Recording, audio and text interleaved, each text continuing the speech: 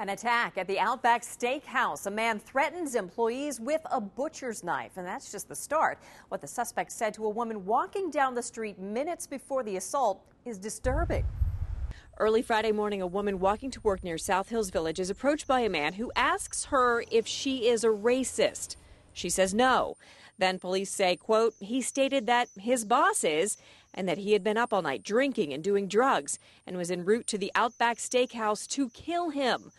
The woman called Upper St. Clair police, who came right away to the restaurant. Police say 44 year old Marquis Richie was already there. Police say Richie came to a side door and was banging on it to get in. He had a knife with him, and once he got inside, he got a hold of a butcher knife. Police say Richie cornered one employee in the kitchen and was throwing things in the scuffle. Others stepped in to help that worker. All three who were in danger managed to get free of the man with the knife and get out. Police showed up and they say Richie plunged the butcher knife into a box. The whole time, police say Richie said over and over he was there to kill his boss. His boss wasn't there, and police say that boss later played them threatening voicemails Richie had left for them. Well, Marquis Richie faces a lot of serious charges after all of this, including aggravated assault. Right now, he's in the Allegheny County Jail.